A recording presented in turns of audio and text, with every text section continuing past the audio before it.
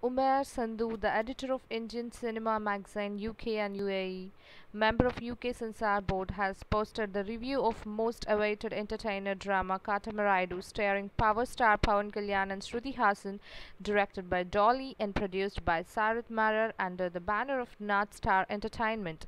He has given the 4 stars out of 5. Pawan portrayed as a beefed up, invisible Superman who annihilates the enemy with his brute strength. His punch dialogues, high octane action sequences, and dance moves are highlighted. The storyline is simple, but the director Dolly has trailer made it for the Pawan and mass audience. Pawan steals the show with his terrific performance. Shruti Haasan looks gorgeous and gave awaited worthy performance. All the supporting cast performed well. Decent plot, performance of Pawan, spectacular visuals captured by the cinematographer Prasad Murella. Stunning music by Anup Rubens and the sharp editing by Gautham Raju are the major assets of the movie. Overall, it's a paisa vasool movie. It's a blockbuster.